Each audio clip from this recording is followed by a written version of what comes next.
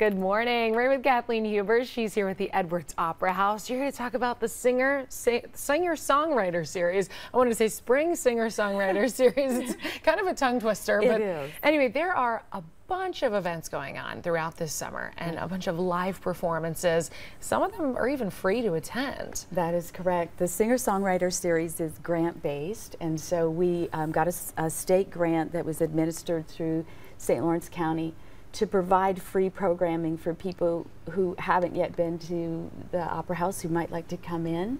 And so we have six shows, 11 performers that are free if you haven't seen the Opera House, come on in and have a look. It's a gorgeous place to play music, to listen to music and we're just delighted to share these you know new shows with the public. Oh absolutely. So let's talk about the two upcoming shows yes. and those are free. Free yes. The first one's tomorrow night. Um, we have a performer from the akwesasne nation starting out our show.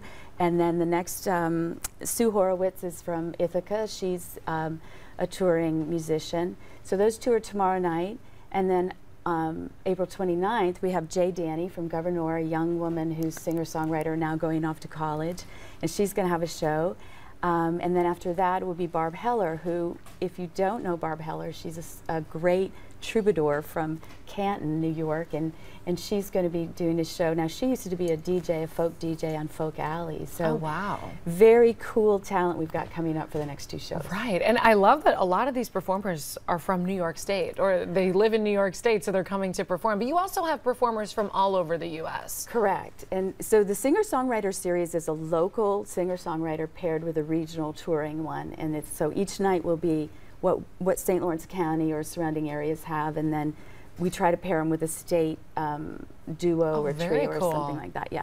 Okay, so, so, they're paired together. I didn't realize yeah. that. I wasn't sure if one was like an opening act or something, but that's oh, great oh, that no, they're no, paired together. Oh, no, no, it is an opening act. I'm yeah. sorry. So it's an opening act, and then, but the fact that we're pairing it for a, a, a presentation as a show. Okay, a local very cool. Yeah. That is awesome. And like we mentioned, it's free to attend for these next two. Some of the other ones will cost some money, but there are a lot of free ones to attend, and yes. either way, very affordable. And you're supporting the Edwards Opera House as well. Absolutely. It's a not. We we are a nonprofit organization, and, and it's our our job to sort of get people in the Opera House enjoy live performance in the performing arts. And so there's one coming up this weekend, there's one coming up next, or the weekend after, next weekend, yeah. the 29th.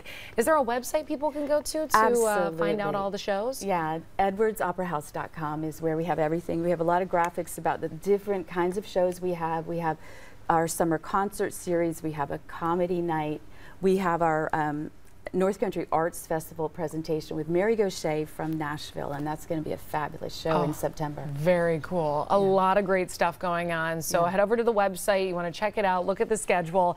And a lot of people are making their spring, their summer plans now. Yeah. So mark your calendars with this. I mean, you have the lineup all the way through October. Yes, yes. We go, we start tomorrow and we go through October 28th. And all those tickets, everything, well, the singer songwriters are free, but the rest of the shows, you can buy the tickets online now. You can reserve your seats. Any ticket purchased online reserves that seat, right? Great. If you show up at the door, most of the shows are $10 one is 15 and the Mary Gauthier show is our feature event so that's 30 but either way very affordable yes. a great night out and you're supporting the Edwards Opera House and you get to make those summer plans too well ahead of time thank right. you so much for joining us thank you for having me we'll be right back it.